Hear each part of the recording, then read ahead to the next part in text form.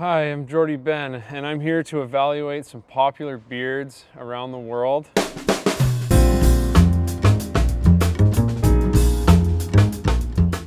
We'll get started with uh, this perfect human being right here, Brent Burns.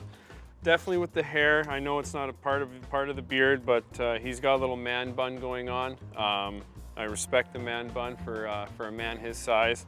Um, the beard is uh, is a little out of whack, but uh, that's definitely his style. It goes along with his teeth, and there's not too many left. I definitely, if I had to evaluate this, I'd definitely give it an A plus.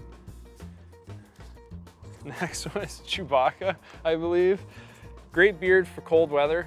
Um, it'd do well here in, uh, in Montreal when uh, the winter comes. As you can see, it's uh, kind of sticking to his, to his face. He definitely could use a trim a little bit. It's uh, the beard's kind of into the cheeks and the forehead. You want to stay away from that when growing a beard. There's always a fine line with too much hair.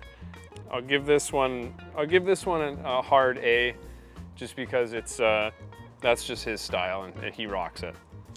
Next one, Drake, we can just get rid of this one. I'm not a big fan of his. Uh, that's definitely a C minus. Next one is Santa Claus.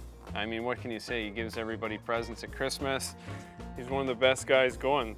Probably diet a bit, but you know, you, you, it's Santa Claus and it's, he's an, that's an iconic beard. So you can't, uh, you don't want to touch that. The mustache is unbelievable how it goes into the beard. I wish I could have that. That's actually quite nice. But uh, A plus for uh, Santa Claus. Dolph, um, a little long, a little gray, but I guess he's a little bit older. I mean, I'm pulling out gray hairs already, so, you know, his life is probably pretty stressful. I mean, it's a wizard beard and uh, he's a wizard, so definitely give it an A, but uh, if it was me, I'd, I'd, I'd, definitely cut it cut a little bit. Forrest Gump. I mean, the hair is a little long. The beard is good. Um, if he were to play hockey, I think some people would pull on that. It's a little long, uh, just like Gandalf. Altogether, probably a, probably a good A+. plus. What's, I forget this guy's name, but he paints art. He's a painter. I mean, the fro is a bit much, but uh, the beard is good, so we'll, we'll, give him a, we'll give him a B+. plus. His paintings, though, definitely an A+. plus. Yukon. This is my twin.